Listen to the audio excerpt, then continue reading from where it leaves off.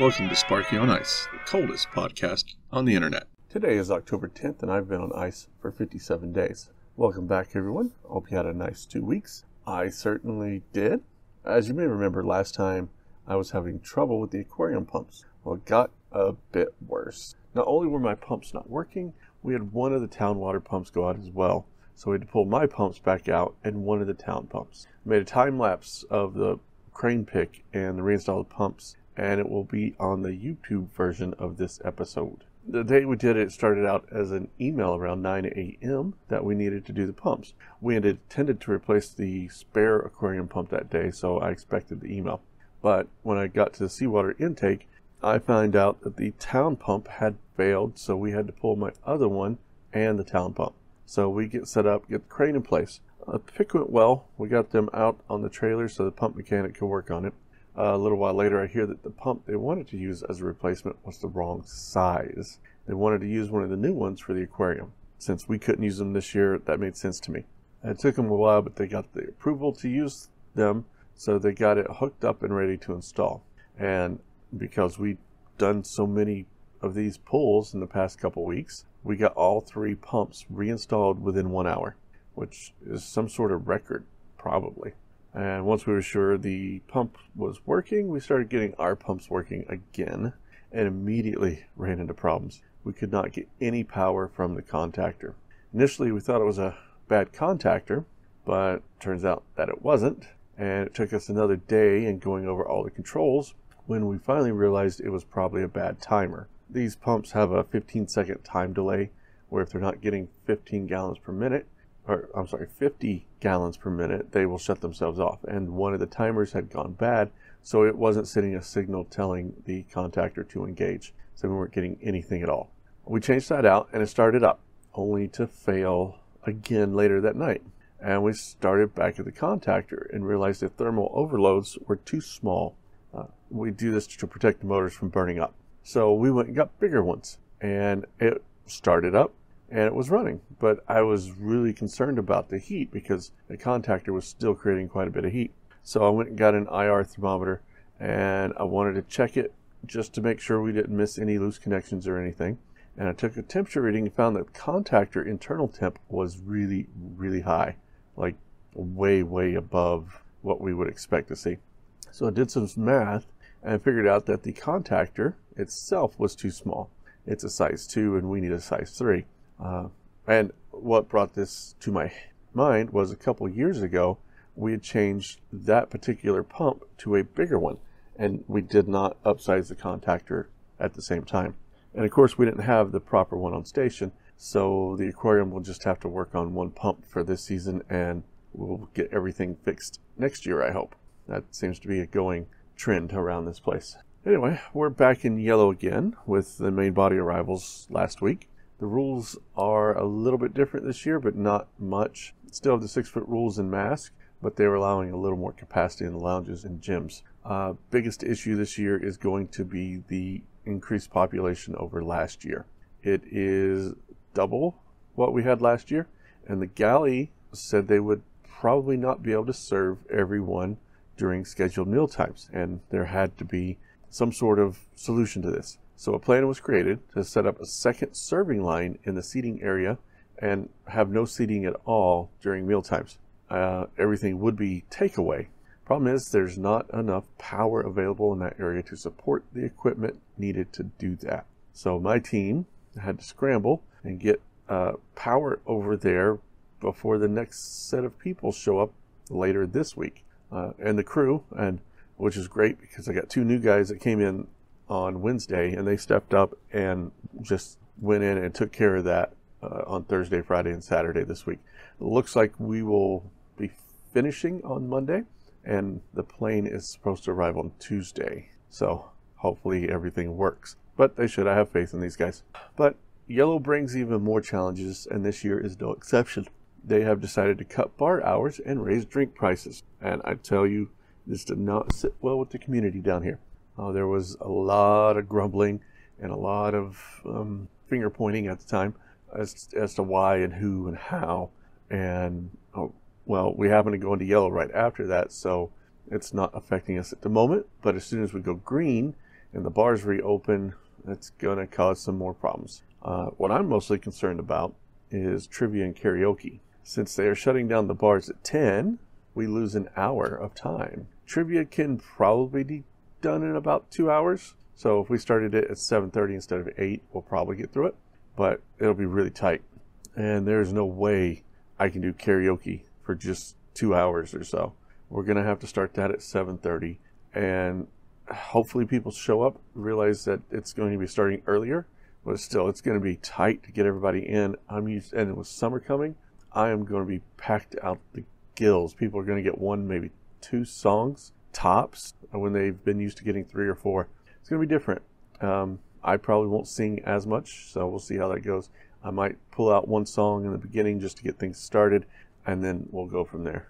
And the next few weeks are going to be really, really tough. Uh, we're going to have limited contact and almost no recreational opportunities aside from, you know, individual hiking or, you know, individual band. There's just not much to do in groups, which this community really strives on being able to get together in a social structure. And it's really hard on us down here because we're already um, giving up so much of our social lives to be down here. It's really, really important that we continue with that social interaction that we as humans crave. And yellow really puts a, a real halt to that.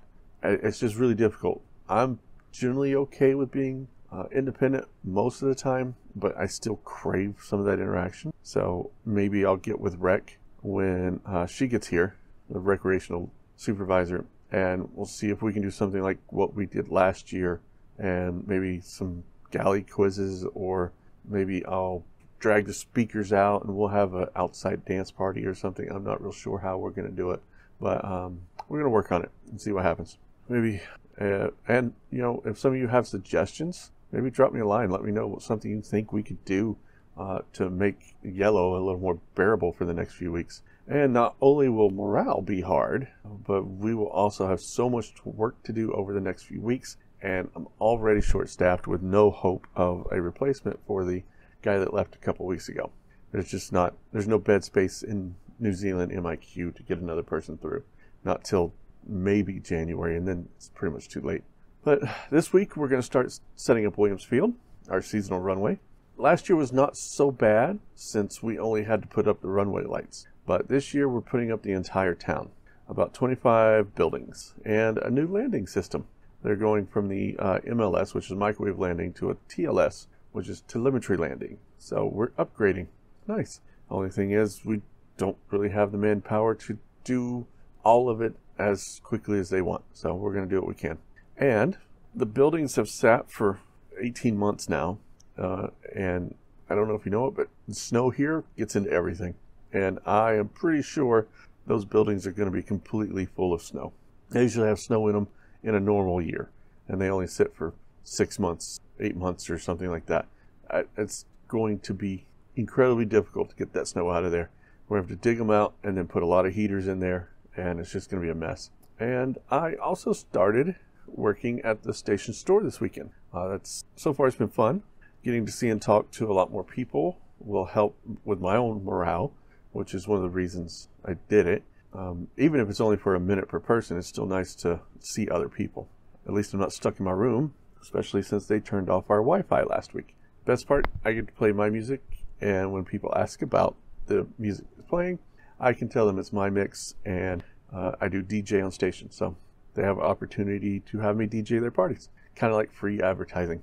I also received my new dual microphones so I can start doing some interviews with some of the interesting people on the ice. I would look for that in the next few weeks. Not sure exactly when I'll get that going, but hopefully sometime real soon.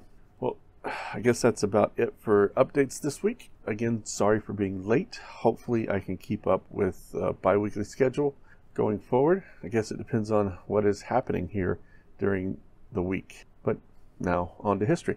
So, last episode, we had left when Shackleton had made it to Elephant Island after his ill fated expedition had lost their ship and became stranded in Antarctica. So, here we go. Their first landing place wasn't ideal by any means, but they soon found a more appropriate place to make camp at a place they called Point Wild, after Frank Wild, who had gone down to the coast to scout. For the first for the time being, they were more safe and secure than they had been for a long time, but they were still stranded far from civilization, no one knowing where they were or what their condition was. There was no chance of rescue, no ships passed that way, and nobody at the time was capable of summoning help. Shackleton realized that in order to effect rescue, he was going to have to travel the nearest inhabited place, which was a whaling station back on South Georgia, some 800 miles distant across the most stormy stretch of ocean in the world. They expected to encounter waves that were 50 foot from tip to trough, Cape Horn rollers in a 22 foot long boat. Their navigation was by sextant and chronometer of unknown accuracy. They were dependent on the sightings of the sun that could sometimes not be seen for weeks in an overcast weather so characteristic of these latitudes. Shackleton chose Frank Wild to stay behind with the men on Elephant Island, as he felt that he could hold them together well. If there was no rescue by spring, they were to try and reach Deception Island, which was regularly used by whalers and sealers. The lifeboat chosen for the journey was the James Caird. It was made seaworthy by whatever limited means were available and equipped with the part cover against the weather and the sea. Launching her was eventful, with many of the men being soaked to the skin a serious matter in the cold climate, and with very limited facilities for drying their clothes and getting warm again. The party left behind on Elephant Island used the two remaining lifeboats to make a hut. They were turned upside down and placed on top of two low stone wall. Tent and sail fabric were used as linings to keep the wind and weather out. The men were even able to make a small celluloid window from an old photograph case. A blubber stove provided heat and was used as a cooker. Conditions were cramped and food was in short supply. One of the party, Blackborow, little more than a boy who had joined on the ship as a stowaway in Buenos Aires, when his companion had been hired, though he had not, suffered from frostbitten toes. They were amputated by the surgeons by the meager light given by the blubber stove. The James Caird set off on 24th of April 1916, the very last day before the pack closed in again around Elephant Island on a day of relative calm. The crew was Shackleton, Worsley, Crean, McNeish, McCarthy, and Vincent. The anticipated journey time was a month. It was become one of the most astonishing small boat journeys of all time. The James Caird made progress at the rate of 60 to 70 miles per day through rough sea conditions. The sea constantly came in and made everything, including the sleeping bags, wet. It was difficult to find any warmth at all. There were four sleeping bags made of reindeer hide, which shed their hairs in the constant dampness, making them less effective and clogging the pump used to empty the seawater that spilled over the boat. The boat was relatively unladed, so boulders and other ballast had been placed aboard in order to trim her. These had to be constantly moved around. The weather worsened, and they encountered fierce storms. As the temperature dropped, ice formed on the outside of the boat from frozen sea spray, up to 15 inches deep on the deck. This made the boat much heavier and affected the trim, more moving around of boulders, and the men also tried as far as they could to chip to chip away the accumulated ice with any tools that they could improvise, though the situation worsened. They began to throw items overboard in order to save weight. Spare oars went as did two sleeping bags that by now were soaked through and hard and heavy with ice. At other times, they had to bail out water for dear life, and only solace during the journey were hot meals every four hours by light of a Primus stove. They had been drifting for some time under light sail, held back by the sea anchor due to the sea state a sea anchor is a sort of large canvas bag that acted to slow the boat and prevent it from being tossed around quite so violently during stormy seas. Sea anchor, however, was lost as the boat fell into a large trough between waves. The men then had to beat the canvas sails free of ice and set them again properly in order to keep on course. Frostbite was beginning to ex- affect exposed fingers and hands in the cold, constant wet. Navigation was also a problem due to continually overcast weather. On the seventh day at sea, however, a break in the cloud came, and Worsley was able to take a reading from the sun, six days since the last observation. He calculated they had traveled around 380 miles, were almost halfway to South Georgia. A short period of sunshine meant that the men were able to spread their clothing over and other gear over the boat deck and masts to dry out. The ice became less dense, and they occasionally were accompanied by wildlife, porpoises, and tiny storm petrels. On May 5th, the 11th day out to sea, the sea became much rougher. Shackleton was at the tiller. I called to the other men that the sky was clearing, and then a moment later I realized that I had seen was not a rift in the clouds, but a white crest of an enormous wave. During 26 years of experience in the ocean in all its mood, I had not encountered a wave so gigantic, said Shackleton. It was a mighty upheaval of the ocean, a thing quite apart from the big white capped seals that had been our tireless enemies for many days. I shouted, For God's sake, hold on. It's got us. Then came a moment of suspense that seemed drawn out into hours. White surged the foam of the breaking sea around us. We felt our boat lifted and flung forward like a cork in breaking surf. We were in a seething chaos of tortured water, but somehow the boat lived through it, half full of water, sagging to the dead weight and shuddering under the blow. We bailed with the energy of men fighting for life, flinging the water over the sides with every receptacle that came to our hands. And after ten minutes of uncertainty, we felt the boat renew her life beneath us. On May 7th, Worsley again was able to take navigational readings and reckoned they were not more than a hundred miles from the northwest corner of South Georgia. Another two days with the wind with them, and they would have the island within their sight. On the morning of the 8th of May, they began seeing kelp floating in the sea, then some seabirds. Just after noon, they caught a glimpse of South Georgia, only 14 days after leaving Elephant Island, about half as long as they thought the journey would take. Landing was less than straightforward affair. Reefs, shallow rocks just below the sea, stretched all along the region of the coast where they were, and great waves broke over them. The rocky coast in many places descended steeply into the sea. Despite being so close and running out of fresh water to drink, they had no choice but to wait for the next morning to break before attempting to land on shore. The morning brought a shift in the wind, and a terrible storm arose. The James Caird was tossed around the sea when light broke. They were out of sight of land once again. They made their way back to South Georgia just after noon, but again the coast of huge breakers and sheer cliffs greeted them. The day wore on, and there seemed no hope. Later, though, in the evening, the wind shifted directions and began to die down. By the morning of the 10th of May, there was very little wind, and they were able to look for a landing place. Reefs and breaking waves dogged their every attempt. They found a likely bay to land, but were blown out to sea again by a change in the wind. In approaching darkness, they eventually were able to enter a small cove fronted by a reef. They had to take in the oars to pass through, but at long last, carried by the swell, the James Caird was able to land on the South Georgia beach at King Haakon Bay. They got through thanks to Shackleton's leadership and incredible navigational skills of New Zealander Frank Worsley. Worsley had only been able to take sightings of the sun four times on April 26th, May 3rd, May 4th, and 7th. All the rest had been dead reckoning, keeping on the same straight line in the same heading. Had they failed to land, the boat would have swept onward to be lost in the mid Atlantic, and no rescue party would have been sent out for the men on Elephant Island. That's going to be it for history this week. Next week, the arrival of South Georgia and rescue. If you have any questions, you can contact me on Twitter or Facebook at Sparky on Ice or an email podcast at sparkyonice.xyz. The music used in this podcast is Cold Winter Blues by Lucille Hegamin and the Dixie Daisies and is used under public domain.